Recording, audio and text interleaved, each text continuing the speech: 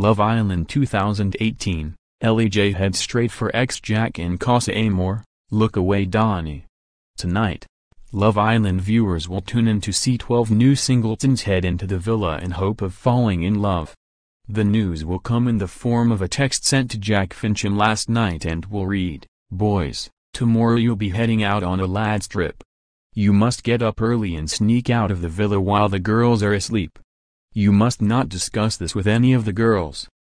Hash wake up call hash boy center.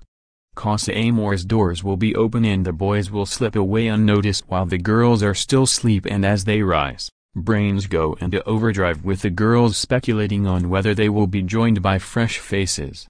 Viewers will also see Dani Dyer, who is currently in an official relationship with Jack, admits she feels uncomfortable with the impending changes.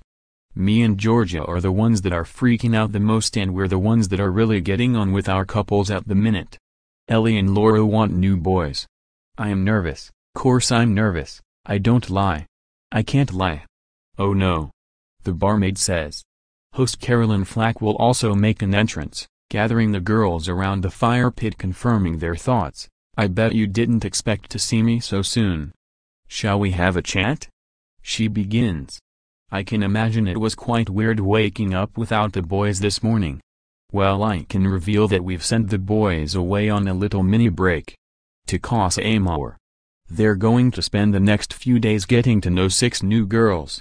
I'm not just the bearer of bad news, I've also got good news.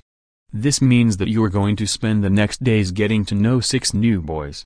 I hope you like them. You might even want to keep hold of some of them, she says. Single Geordie Ellie Brown, who was previously coupled up with Alex George will be extremely excited about the new arrivals. Speaking in the beach hut she reveals, I mean. Six new boys. Are you trying to give me a heart attack? I am not laying it on factor 50 thick. No you've got to play it cool, otherwise I'm just going to look desperate. And I'm single so I can't come across too much. Over in the boys' new surroundings, viewers will see them greeted with the following message, Boys, welcome to Casa Amor. You'll be staying here for the next few days. Have fun. Hash boy swilled boys hash Newvlin rules. But Jack is quick to declare himself a no-go zone as he rules himself out of getting to know any new girls because of his relationship and commitment to Dani. However, in walks Jack's ex Ellie Jones and she instantly heads for the Essex lad stating she has unfinished business to sort out. Will the arrival of Ellie reignite old feelings Jack once had for the brunette? And does this mean that Dani and Jack's relationship is in jeopardy? Meanwhile, Megan Barton Hanson admits her uncertainty after spending the last day seeing Wes Nelson following that shock split. It comes after Megan broke up with recently dumped Eyal Booker, and confessed her feelings for Wes, in which he then told Laura Anderson he would be getting to know Megan. Viewers then saw an emotional Laura give Wes an ultimatum, if he wanted to get to know Megan, Wes and Laura were no more.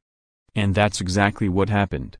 And now that Adam Collard is single following Zara McDermott's dumping last night, will one of the three new brunettes turn his head for the fourth time? Love Island airs tonight at the later time of 9.15 p.m. on ITV2.